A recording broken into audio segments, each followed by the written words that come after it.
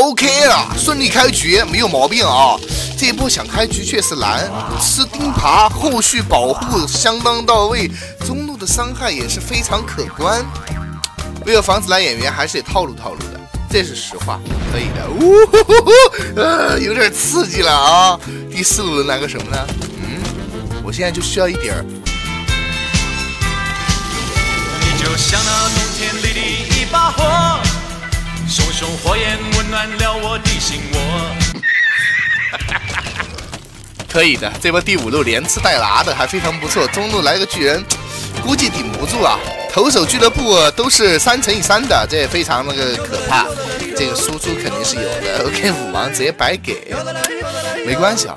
这一波在获取阳光和攻打中路之间，我需要做出一定的抉择。不过有一个好消息，就是到现目前为止，我的阳光全部都是顺利获取了的。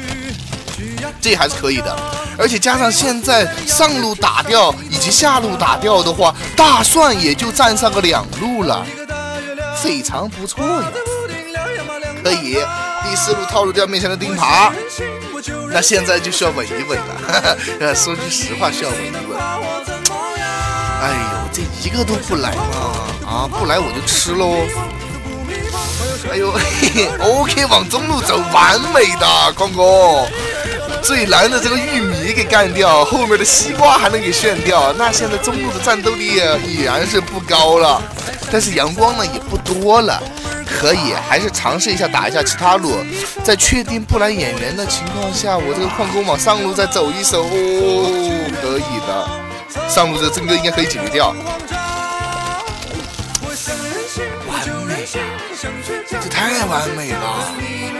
OK 了，第四路还是不来演员，只剩下两路了，对面怎么玩？虽然说后面这个老子一路都没有获取，但是呢，通过这个大蒜位移是没有一点毛病的。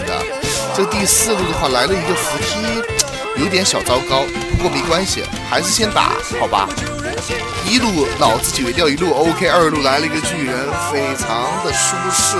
这个第四路呢？好想抱住你，听你的声音，心跳不停加速，我并 trouble